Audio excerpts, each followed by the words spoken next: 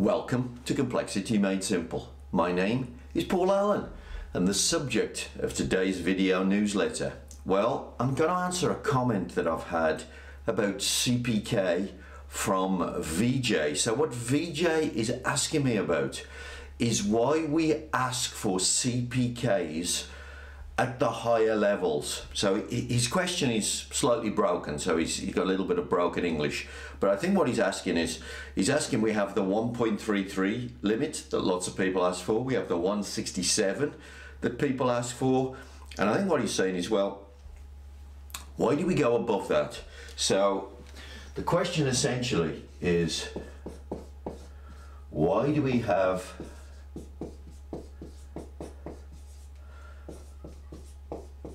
higher. Why the higher CPK requirements? So that's that's what we're going to talk about.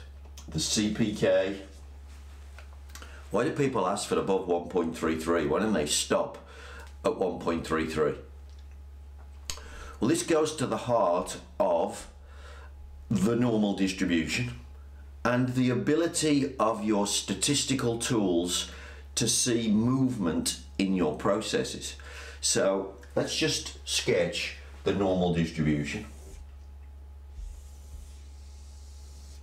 So we've got the normal distribution, which is always said to be three standard deviations in one direction, three standard deviations in the other direction. Now there, there is the picture, and because of the nature of it, there's very little data here out at the tails. So if you, if you were taking data points, and remember, as an operator, as a technician, as an engineer, you never see the normal distribution. What you see are individual data points. So you see this individual data point appearing on a graph. And the graph, of course, is telling you what the process is doing. It's trying to tell you whether the process is centered. So if you're trying to hit, you're trying to hit some target, it's trying to help you to see if the process is centered, etc. Well, because of the rarity of the data out here, if this process moves, if it moves over here, the data that's going to be in the tail, these data points are rare events. So it's very unlikely they're going to appear on this graph. Now, people much more, uh, uh, much more intelligent than me have looked at this, and one of the things that they've said is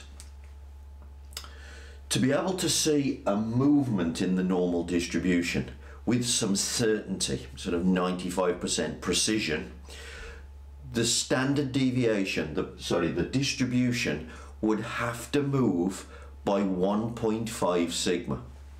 So this thing would have to move off the center here and it would have to move to this point here. So in other words,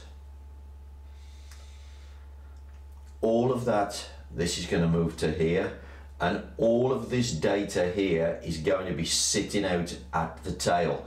Now that's quite a lot of data and what we're saying is in order to be certain of getting a data point out here somewhere we're going to have to push the tail quite a long way. We're going to have to push it one and a half sigma for it to really show us something unusual on the graph with some certainty. It's not saying it wouldn't do that but we want to see it quickly with some certainty. And so the idea that the process has to move by 1.5 sigma before you would actually see it with some clarity that that's what's happened to it. Now, if we think about that in relation to the 133, 167, or even asking for a CPK of 2, which is of course up at the Six Sigma level, what does that mean? Well, let's draw some diagrams of those three of those three scenarios. So if we go, let's have a look. One, two, three, four.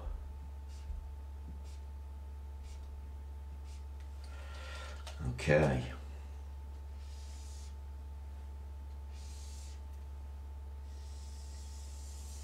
Okay, so what I've done, I've got a tolerance. This is the lower specification limit. This is the upper specification limit. What I've done, this is a one, this is a, a 1.33. 1.33 CPK. And what that means is it contains four standard deviations. So if I draw, let's draw a, a distribution in there.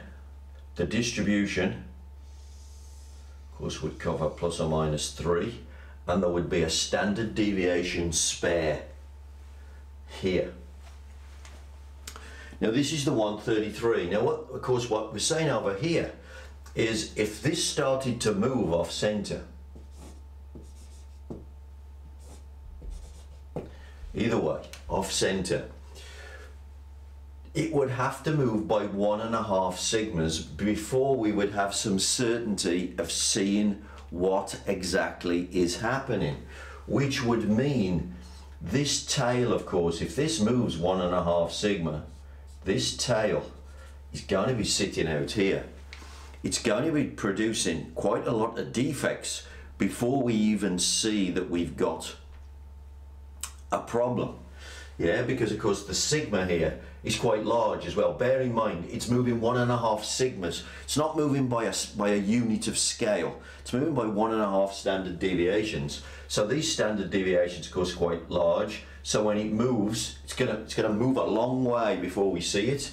This tail is going to be producing defects.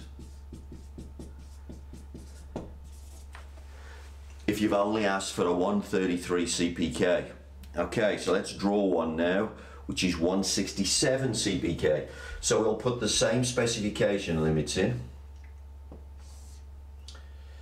So there's the same specification limits, there's the midpoint.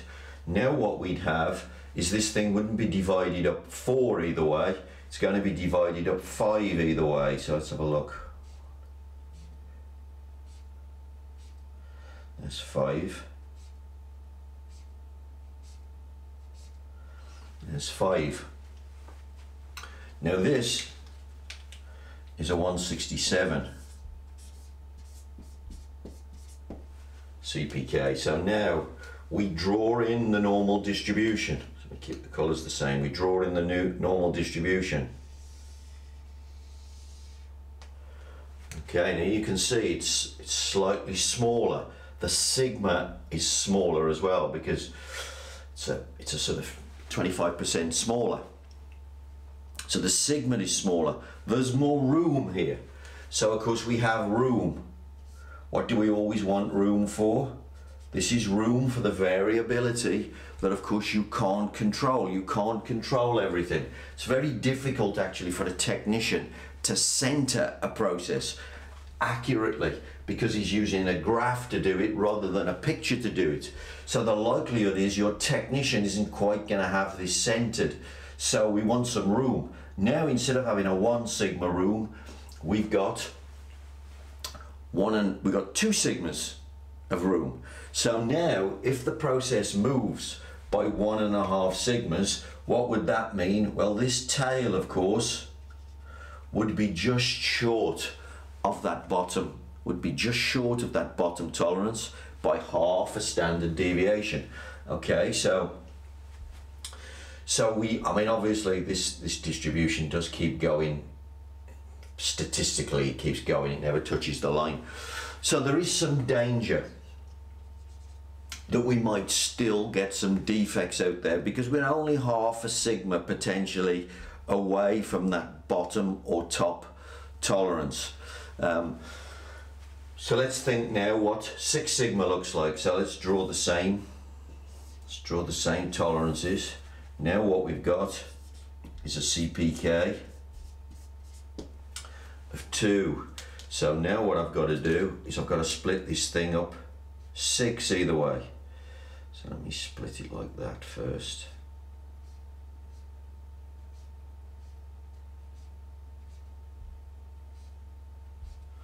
So now the distribution is only going to fill, of course, half the tolerance.